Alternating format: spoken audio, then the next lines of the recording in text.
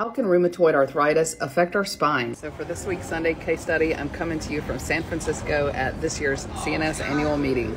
We have a 75 year old female who presents with a history of rheumatoid arthritis and neck pain. She's had neck pain over the years and has actually had multiple spinal procedures done to her neck, but presents with worsening difficulty walking. Her hands, arms, and feet seem to be going numb, and she has gotten to the point where she can no longer walk without the assistance of a walker or a cane on neurological examination, her hands are curled up like this and she really can't use her hands. She attributed this to her history of rheumatoid. She also has difficulty with her balance and her Romberg sign was positive. Her reflexes were very brisk and she had a positive Babinski sign and positive clonus. Here is her MRI scan. I'm going to scroll through the sagittal images of her MRI of her cervical spine and pausing on this middle sagittal image and then continuing to scroll across the sagittal images. So, a few questions that I have for you guys this week is one, obviously, what is the diagnosis? I mentioned on physical examination all of those findings, and what does that mean exactly? Why would her reflexes be brisk, and why would she have difficulty walking? Obviously, the next question is, what did I do to treat the problem? And the last question is, was her history of rheumatoid arthritis relevant or not? Stay tuned tomorrow, and I'll go through the whole case. This is a work of art.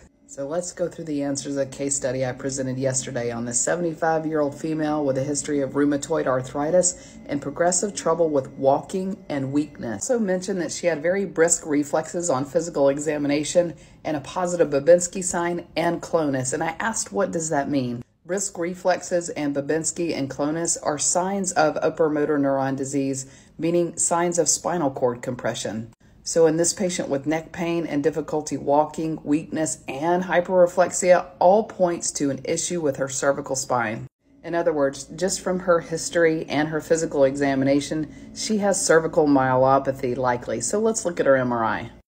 When we look at an MRI scan of the cervical spine, this is C2, this is C3, and then these black rectangles are the discs. Now, it should look like something like this where you have a square and a disc and a square and a disc, etc. These all look a little unusual up here because these are the vertebrae that have been fused. This is the base of the brain, this is the brain stem, and then the spinal cord comes down through here. Now, what is this thing right here? This is the problem. So what we see here is the brain stem coming down and then being extremely compressed through here, and then the spinal cord coming down here. So this is narrowed to just one to two millimeters by this mass-like projection. Here is a cartoon rendition of what we're looking at. This is the C2 vertebrae, and then this is a mass projecting off the C2 vertebrae called a cervical pannus. Now, our C1-2 joint, called the atlantoaxial joint, is what allows us to rotate our head side to side. It provides 50% of our lateral rotation of our neck. Since C1-2 is a synovial joint like most joints in our body, it can be affected by arthritis and is somewhat susceptible in patients with rheumatoid arthritis. A cervical pannus is caused from inflammation and is very common in rheumatoid patients, causing cervical spinal cord compression.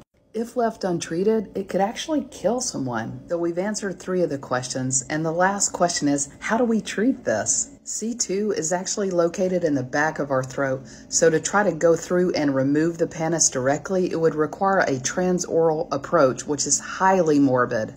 If we just simply immobilize the joint and prevent it from moving anymore, the pannus could actually go away on its own. So the treatment is spinal fusion. So here's what I did in this patient's case. She was already fused anteriorly, C4 to T1. So I went posteriorly and fused her skull base down to T1 by adding these rods and screws, and I decompressed the area of the compression in the upper cervical spine. After surgery, she did well and was subsequently discharged home after several days' stay in the hospital. After several months, her weakness improved and she was actually able to ambulate without any assistant devices. Now, the weakness in her hands didn't get all the way better because the spinal cord compression had been going on for so long, but we did improve the quality of her life tremendously. Stay tuned next week for another case.